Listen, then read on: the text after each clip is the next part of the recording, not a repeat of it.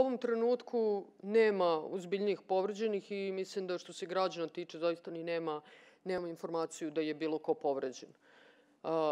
Pripadnici Ministarstva unutrašnjih poslova su briljantno uradili svoj posao.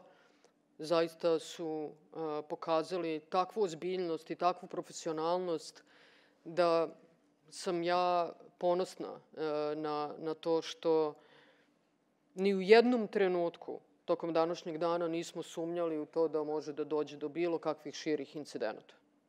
Dakle, ni u jednom trenutku nije, nije bila kriza takvih razmera da smo mislili da, da, mo, na, da mogu bilo učesnici a, ovih skupova koji se ne slažu sa Prajdom, bilo učesnici Prajda da su bili ugroženi.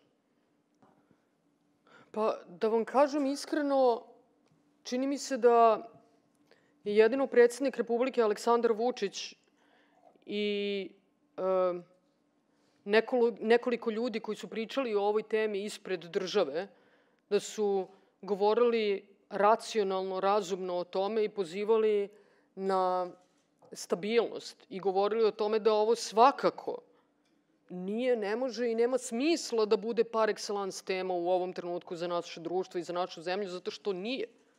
Zato što imamo mnogo većih problema.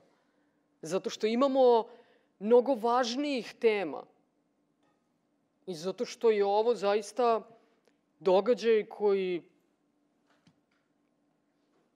se održi, neko se sa njim slaže, neko se sa njim ne slaže, ali ne, nije trebala da bude par excellence tema, ali mi nismo nametnuli kao, kao, kao osnovnu i, i najproblematičniju temu našeg društva i naše zemlje. Upravo suprotno.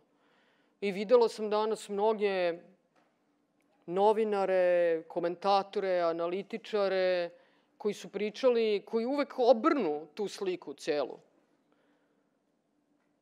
I kažu, pa Vučić ili Srpska napredna stranka od svega mogu da na, moraju da naprave veliku priču i veliki haos bez potrebe. Pa upravo suprotno. Ali upravo suprotno.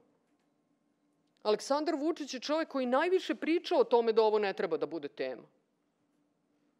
Koji je, da vas podsjetim, rekao da ukoliko je ovo najveći problem naše zemlje i našeg društva, onda smo mi zaista jedno srećno društvo i srećna zemlja koja nema baš pretaranih problema. Da imamo mnogo važnijih tema kojima svi zajedno treba da se bavimo.